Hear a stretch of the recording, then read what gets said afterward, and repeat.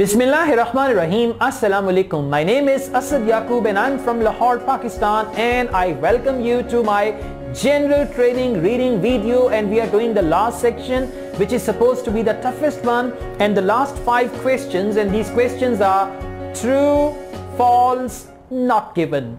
I told you the difference between true, false, not given and yes, no, not given. In yes, no, not given you check writers views or claims and in true false not given you check factual information now let's do these questions together and we'll see how to find the answers and let me tell you in the previous video I told you you got to read what sort of questions are there which are anticipated and keep those questions in mind as well. You got to keep them in mind so that after one set of questions, when you come to the next set, you are already familiar with the questions and you can underline the different parts of the passage because when you're doing one set of questions, you've got to go through various parts of the passage. These parts can help you with the next type of questions as well.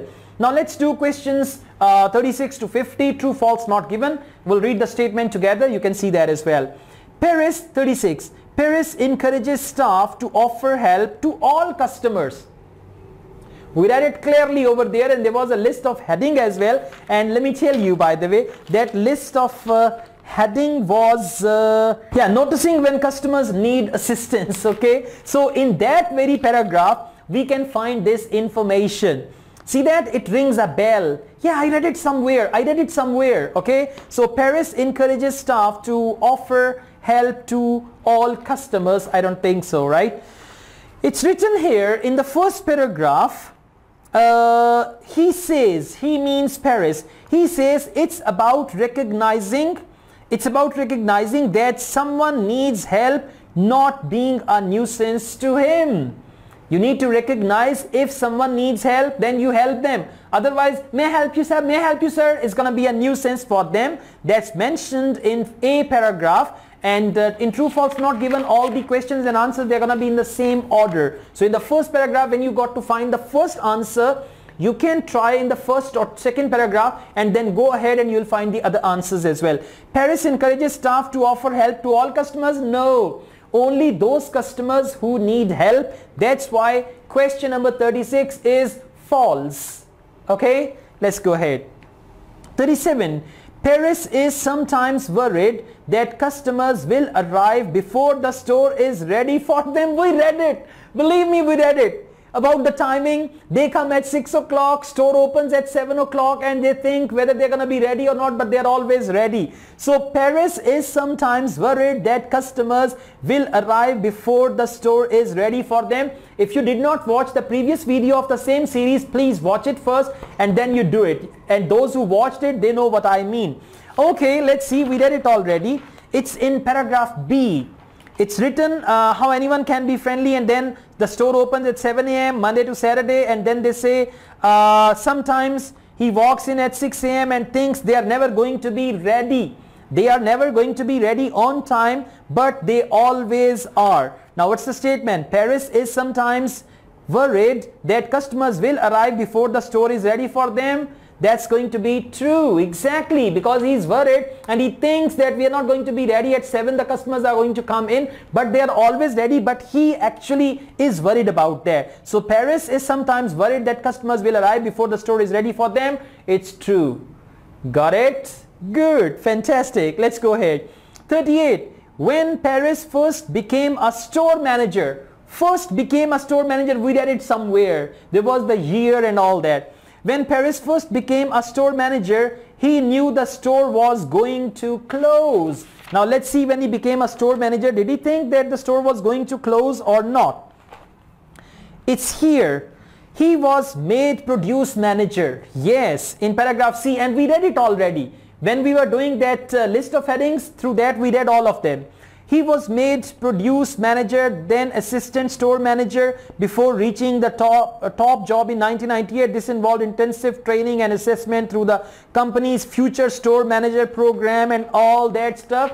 But they do not mention when Paris first became a store manager, he knew the store was going to close, not given right? They talk about the future planning and all that stuff, but they, they don't mention it that the store was going to close. That's why it is not given. Statement 39. On average, produce worth 4,200 pounds is thrown away. We read it. if you do one question carefully, then you can do the next set of questions easily as well. You underlined 4200 as well. Okay, now all we need to do, we need to see whether it is true, false or not given. On average, produce worth 4200 pounds is thrown away every week. I doubt it. Let's see. Yes, it's mentioned in paragraph F and they say uh, despite eagle-eyed parents pulling out fruit and vegetable that most of us would buy without a second thought, the wastage each week is tiny. Produce worth 4,200 pounds is marked down for a quick sale. Now that is not the waste. What's the question? The question is on average produce worth 4,200 pounds is thrown away. They don't throw, throw away there. They put it for quick sale because they know the expiry is near, right? So I read this thing again. They mention it here uh, produce worth 4,200 pound is marked down for a quick sale and only 400 worth is scraped. Scraped means wasted, right? Only worth 400. And here they say on average produce worth for 4,200 is thrown away every week. False. This is not true. That's only 400, right? It's not not given. It's false. Okay, last question number 40. Paris was surprised how many staff asked about promotion on the talent day. We read about talent day as well. Now quickly go to talent day right and there you read about it and you got to see whether Paris was surprised how many staff asked about promotion on talent day. Okay, and see the questions and answers, they are in the same order. I'm feeling so happy because you know, the tips are really working and it's becoming easier.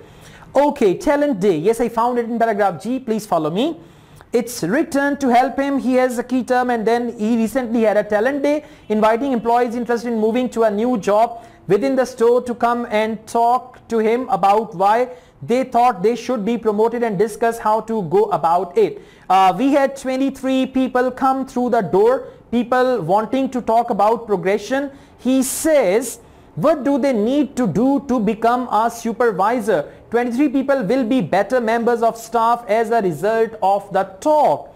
Now, what is that? Paris was surprised how many staff asked about promotion on talent day. Not given.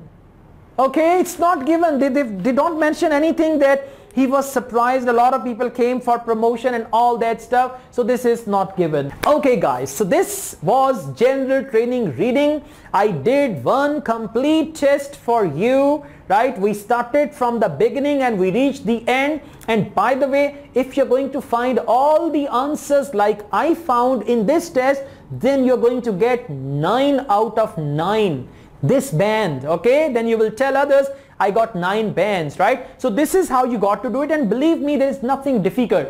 We went through all the tests and we did not find it very, very difficult. And by the way, general training reading is not very difficult. Academic one is a little difficult, but general training is just like that, okay? So all you need to do, you need to follow the tips, watch these videos once again as well if you still don't understand and after watching complete videos i mean uh, all the six or seven videos you should take one complete test of general training and then you will get to know how much you have learned. And then once again watch the videos take another practice test watch the videos take another practice test.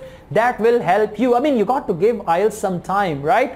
I teach IELTS online if anybody wants to join my online classes you're most welcome and I charge for that okay I give coaching uh, online tuition for IELTS uh, you can uh, join me for that. Apart from this I have prepared this IELTS course. This is called Easy IELTS Kit. Easy IELTS Kit has got 8 video DVDs and 4 books and there are practice tests there are tips techniques. If you want to prepare for IELTS at home this kit can help you as well. Asad Yaqub wishes you all the best. Please now follow my instructions. Take your reading test while following my instructions, inshallah you will get the best results. Take care. Allah Hafiz.